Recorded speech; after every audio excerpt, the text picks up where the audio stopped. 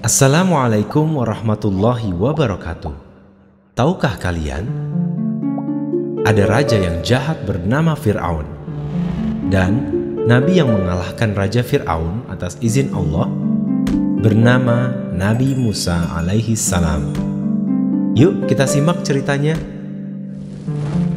Pada zaman dahulu di negeri Mesir, Fir'aun berkuasa. Dengan angkuhnya, berperilaku sewenang-wenang dan menindas rakyatnya.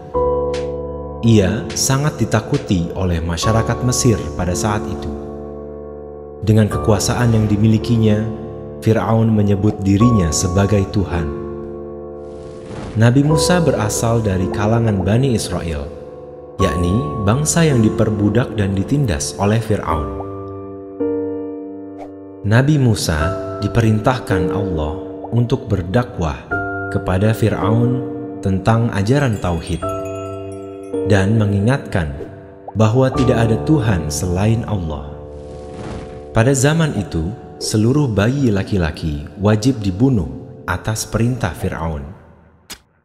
Ibu Nabi Musa khawatir dengan bayinya. Kemudian, Allah memerintahkan untuk meletakkan Nabi Musa ke dalam sebuah peti yang dihanyutkan di sungai. Ibu Nabi Musa sangat sedih berpisah dengan anak yang baru dilahirkannya. Seorang pelayan istana melihat peti berisi bayi Musa tersebut dan mengambilnya. Saat istri dari Firaun melihat bahwa bayi tersebut laki-laki, istri Fir'aun meminta izin kepada suaminya untuk mengasuh bayi Nabi Musa tersebut, dan Fir'aun mengizinkan untuk merawatnya.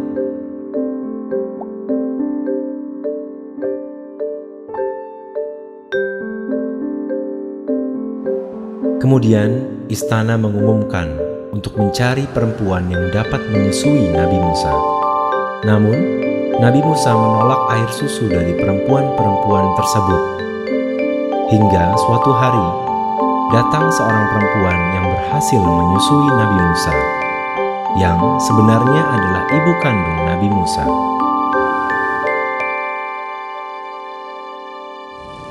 Setelah beranjak dewasa dan menikah, Nabi Musa pergi menuju Mesir. Dalam perjalanan, Nabi Musa melihat cahaya di sekitar gunung. Dihampirinya lereng gunung itu sambil membawa tongkatnya. Di sana, Nabi Musa mendengar seruan agar dia melempar tongkatnya. Setelah dilempar, tiba-tiba tongkatnya berubah menjadi ular. Ketika Nabi Musa mengepitkan telapak tangannya ke ketiaknya, tangan itu tampak putih bercahaya.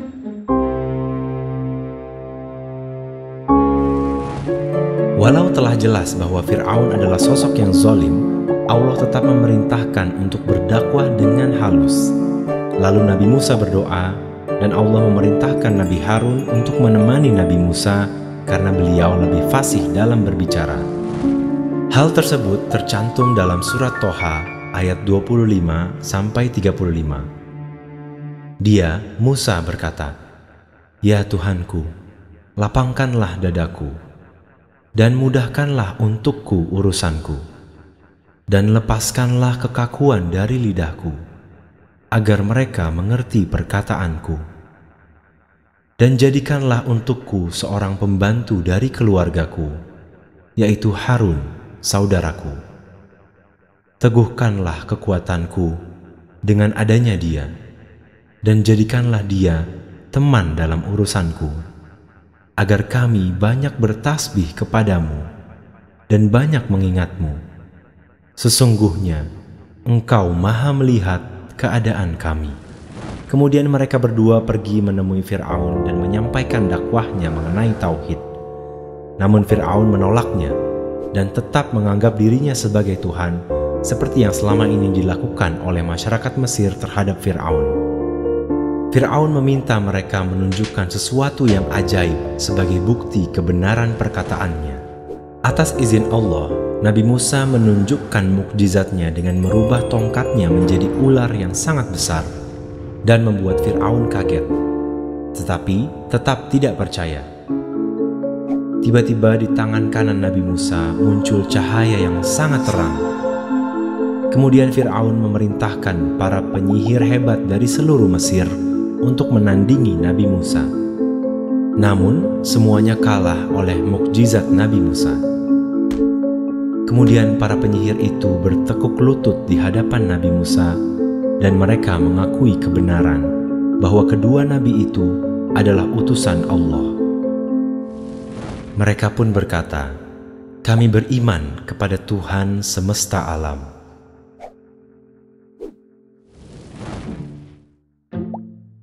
Fir'aun tetap angkuh dan tidak mau mengakui Allah sebagai Tuhan.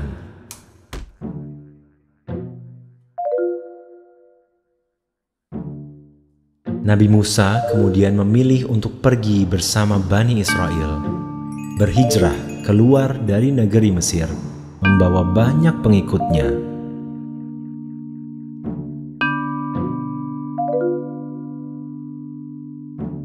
Firaun dan prajuritnya kemudian mengejar mereka dengan pasukan berkuda.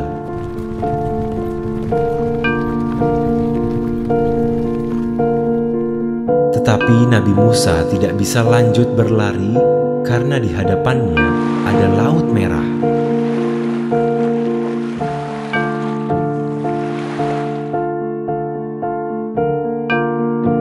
Lalu Allah memerintahkan Nabi Musa untuk menghentakkan tongkatnya. Maka seketika itu laut terbelah dan di dasar lautan itu tampak sebuah lintasan jalan yang tidak tersentuh oleh air. Nabi Musa dan Bani Israel berlari melintasi jalan tersebut.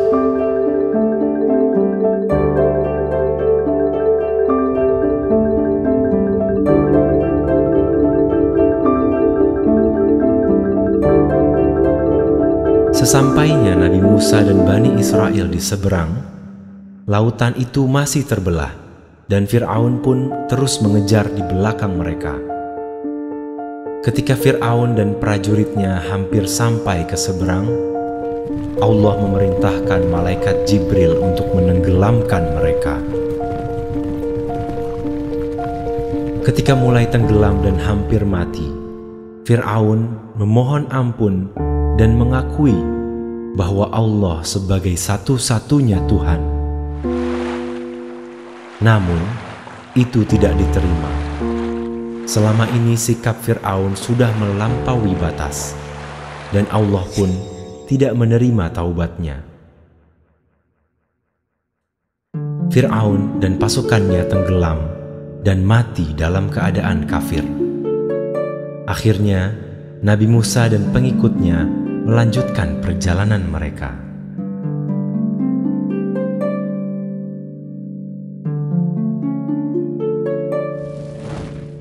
Begitulah kisah tentang Nabi Musa alaihi salam yang berani melawan Firaun yang jahat. Semoga kita semua bisa meniru Nabi Musa, yaitu agar taat kepada Allah. Wassalamualaikum warahmatullahi wabarakatuh.